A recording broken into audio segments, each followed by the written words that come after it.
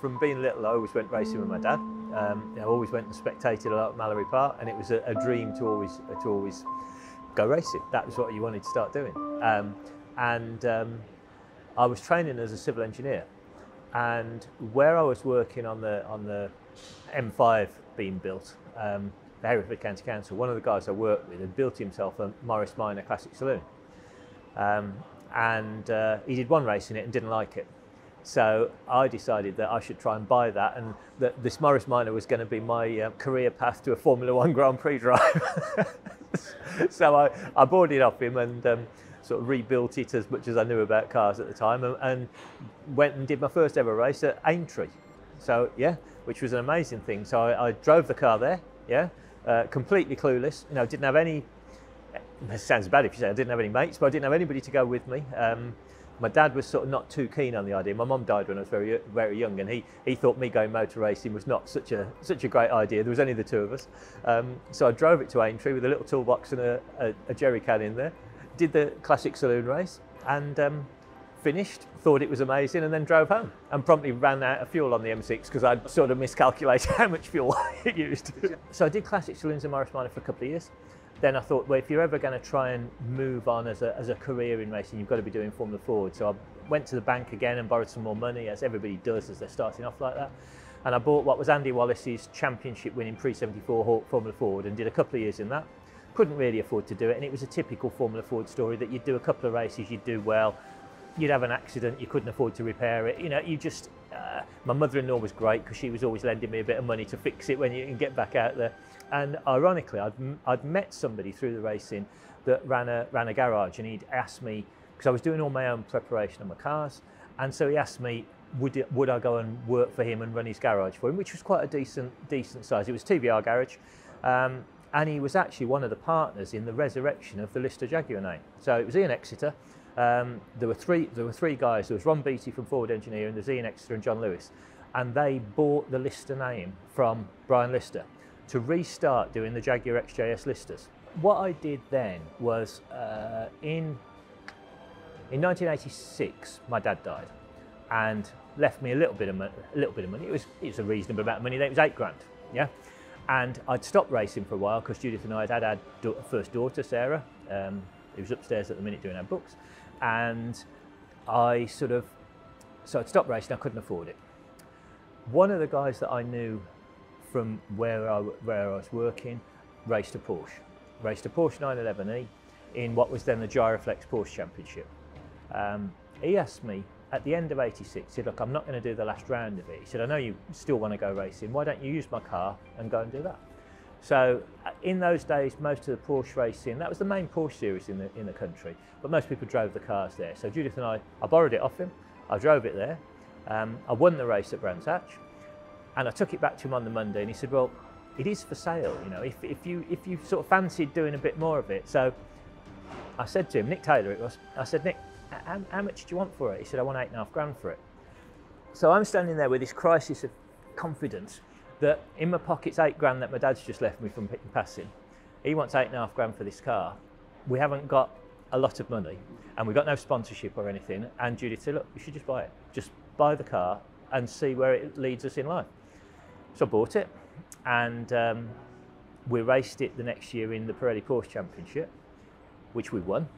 Um, won nine out of 12 rounds that year and three seconds. And that was really the start of me then going out on my own. So at the end of 87, I'd won that. And I had a couple of people from the Porsche series ask me if I'd start preparing their cars. So I started my business then, which was Eurotech.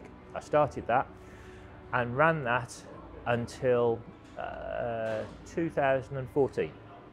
So did a lot of Porsche racing. Um, so I was still racing but preparing cars for my customers. Went and got some premises um, and moved up the ranks a little bit and did GT racing and, and you know we won British GT in a GT3R, same same model car as he sat behind me here. Um, we went and raced one at Daytona. I was lucky enough when I was driving TVRs to drive at Le Mans, so it was it was a fantastic time. It was a big adventure. I had a go-kart when I was eight um, and enjoy, you know, I, I, used to go, used to go testing and I'd always be quite competitive and, and in, enjoyed it. Um, and then I went and did my first race, and Dad couldn't be there, so um, someone else took me, and, and I, didn't really enjoy it. I got a bit beat up by the regulars, uh, not physically on the track, and um, and I just didn't really enjoy it. And he didn't want to be a pushy dad. You know, you, you see a lot of the time. I, I saw back then that karting, not all karting dads, but it, it was quite full on. Um, but I was probably quite lucky in the sense that my dad had done his race and he didn't have to try and do it through me sort of thing. So um, he just said, look, we'll, we'll sell it. If you don't want to do it, we'll sell it, no problem. But you come to me when, if you want to do anything again, he kind of left the ball in my court. So then um, when I was 14, I went to him and had really got the urge to do something uh, myself. And then he'd probably been waiting because then it was all in, um, in, in rallycross. So junior rallycross were kind of 50 horsepower minis then. And my aim was probably because I'd had a bad experience at my kart race racing people. It was to go rallying. That was that was what I wanted to do. Right, I want to go and um, I want to be a rally driver.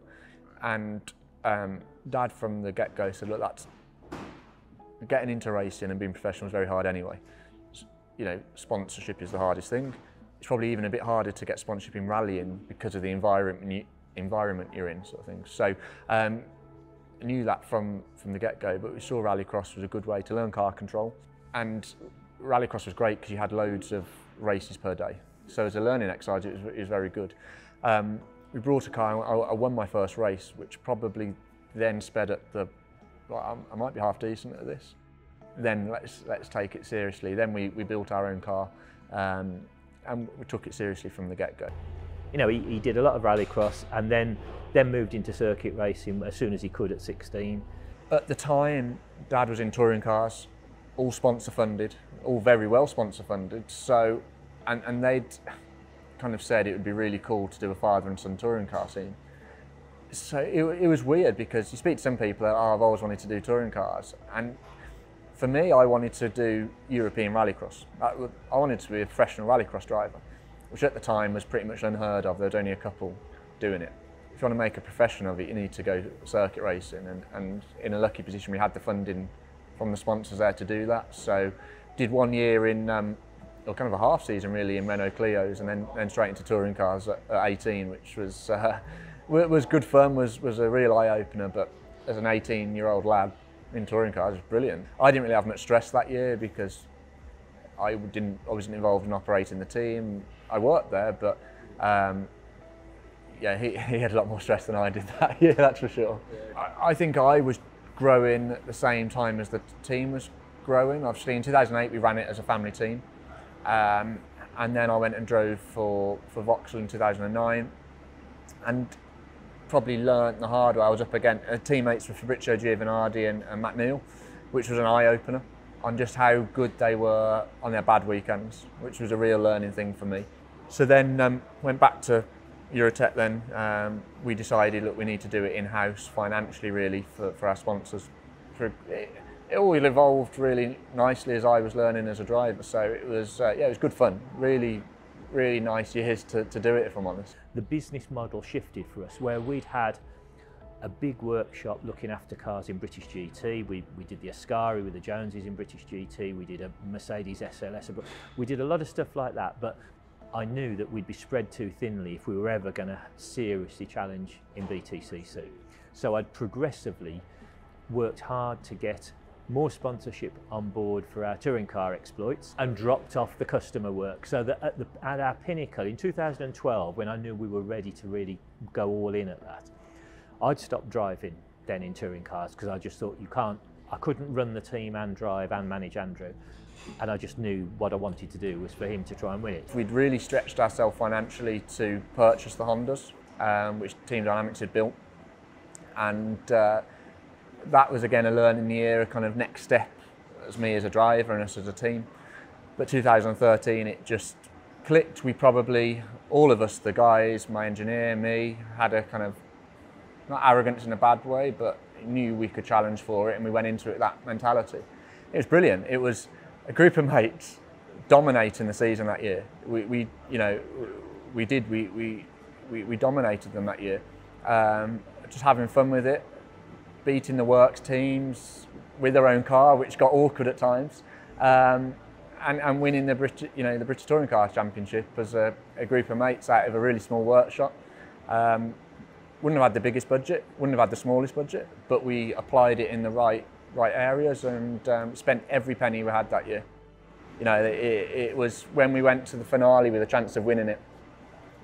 I remember the bills coming in on new drive shafts, new gearbox bits. It, it was, you sometimes get one chance to, to win a championship like that. So yeah, we, we spent every penny we had to, to, to win it, which um, is what you got to do.